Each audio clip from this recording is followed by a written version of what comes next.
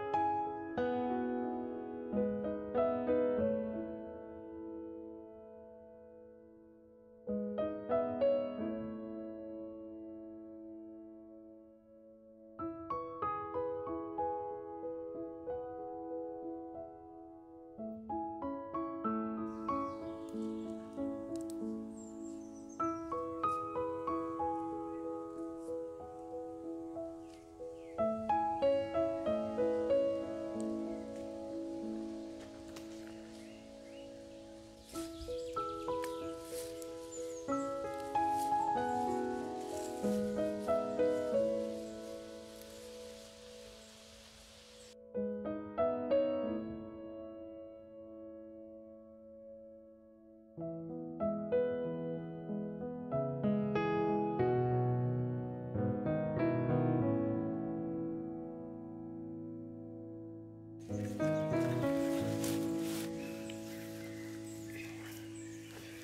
dobrze, kochani. E, cała rzodkiewka, która się nadawała do zbioru, jest zebrana. E, myślę, że to już taki ostatni dzwonek dla tej rzodkiewki. Czy ja powiedziałam marchewka? Jeżeli tak, to przepraszam. Chodzi mi o rzodkiewkę. E, jak widać, wyszedł, mam, uzbierałam cały kosz rzodkiewki. Teraz e, rzodkiewkę sobie przepłuczemy i przechodzimy do dalszej części filmu, w którym dowiecie się, jak wykorzystać w 100% rzodkiewkę.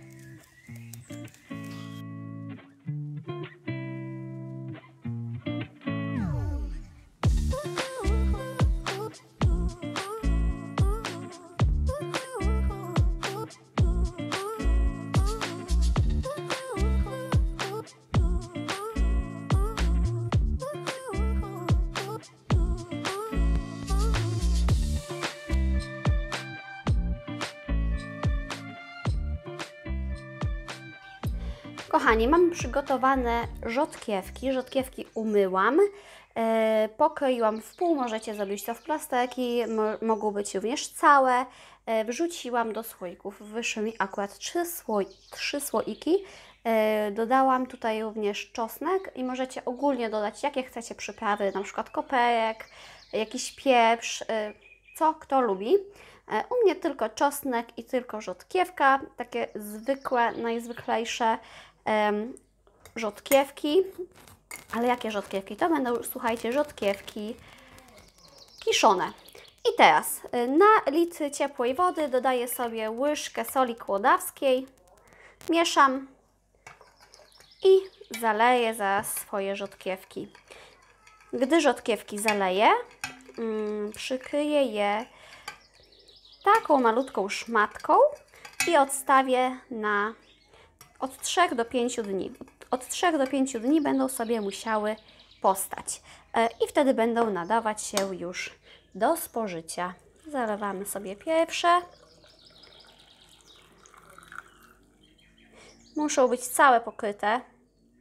Całe muszą być pod powierzchnią wody. Drugi słoiczek i do trzeciego chyba będę musiała odrobinę dorobić. I słuchajcie, od razu czuć, uj, jak pięknie pachnie czosnek. E, Słuchajcie, dorabiam sobie roztwór solny, e, zalewam trzeci słoik e, i odstawiam i zapraszam Was do kolejnej części, gdzie dowiecie się, co można zrobić z takimi oto liśćmi rzodkiewki.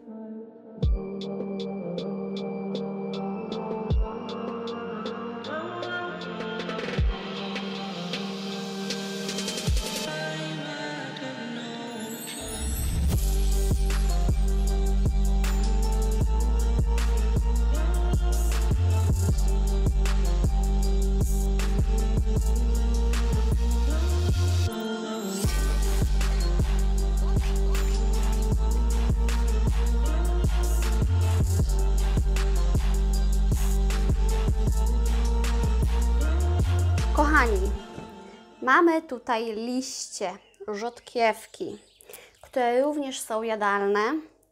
E, I poszłam za Waszymi radami, ponieważ dostałam bardzo, bardzo, bardzo dużo komentarzy, że liście rzodkiewki są jadalne, więc spróbujmy jak to smakuje.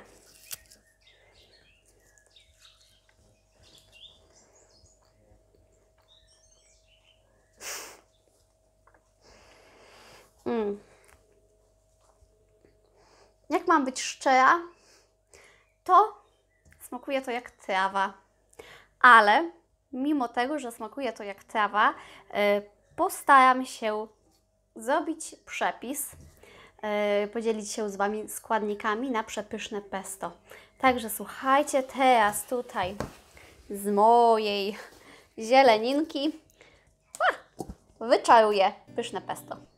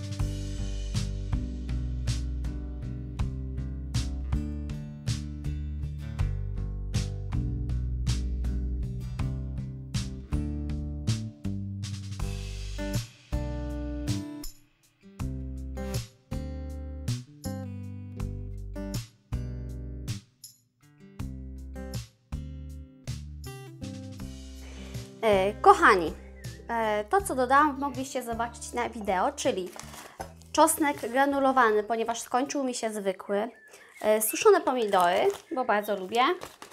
Mm, dodałam również e, sok z czosnku, żeby uzupełnić ten brak czosnku świeżego. Podprażone mm, nasiona słonecznika, roztwór solny, mm, czyli po prostu sól rozpuszczona w wodzie, e, aby nic mi nie, zgrzy, nie zgrzytało pod zębami. E, Czosnek niedźwiedzi e, i wszystko sobie tutaj zblendowałam ręcznym blenderem. On nie jest jakoś mocny, ale dość dobrze poszło, szybko i zgrabnie. I teraz tak, spróbujemy sobie pesto, ale z czym można je zjeść? Głównie pesto jada się z makaronem, E, a ja ugotowałam dzisiaj jano białą fasolę, jaś, pęczak jaś, jaś, jakoś tak się nazywa. E, także teraz dodam sobie swoje pesto do fasoli i zjem pesto z fasolą. Odrobinę, ponieważ tego pesto zawsze dodaje się odrobinę, chociaż jak kto woli. Mm, I kochani, do tego dodatkowo dodam sobie płatki drożdżowe nieaktywne. E, Jeżeli jecie ser, to możecie sobie dodać na przykład e, ser parmezan. Myślę, że będzie fajnie smakować. Ja dodam płatki drożdżowe nieaktywne, ponieważ one w diecie roślinnej można powiedzieć, że zastępują ten smak sera. I teraz sobie wszystko wymieszam. I I co? I za chwilę do Was wracam.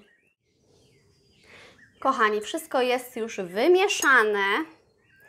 E, może to nie wygląda jakoś super apetycznie, ale zdążyłam już spróbować i słuchajcie, smakuje nieziemsko. Mm, Ten smak trawy dosłownie całkowicie zniknął. Mm, Pesto smakuje fantastycznie. E, Zapomniałam również dodać, że dodałam sobie tutaj e, świeżo tłoczony olej e, lniany, ponieważ ten smak świeżo tłoczonego oleju lnianego jest zupełnie inny niż tego oleju ze sklepu, niestety, ponieważ e, taki olej najlepiej, żeby stał do dwóch tygodni, e, a później już prawdopodobnie zmieni smak na taki rybny.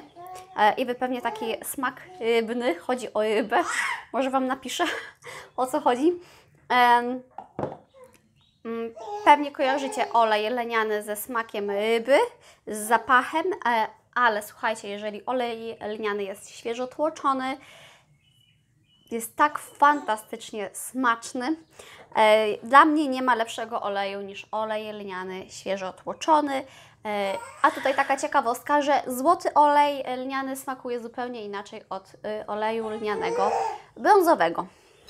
Także, kochani, Mam nadzieję, że dzisiaj dałam Wam jakieś e, inspiracje, że zaczerpnęliście inspiracji e, na jakieś, e, na wykorzystanie powiedzmy, że w 100% e, rzodkiewki, ponieważ no, łodek nie wykorzystałam, tak?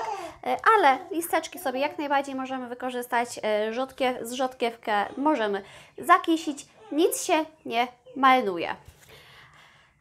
I kochani, możecie napisać, co wy robicie z rzodkiewki, aby y, zainspirować na przykład mnie lub innych widzów, którzy czekają, czytają komentarze. Ja jeszcze e, troszeczkę mam tej rzodkiewki na ogródku, także może z tego, co zostało, wykonam e, coś z Waszego przepisu. Dziękuję Wam serdecznie za oglądanie. Trzymajcie się, pa!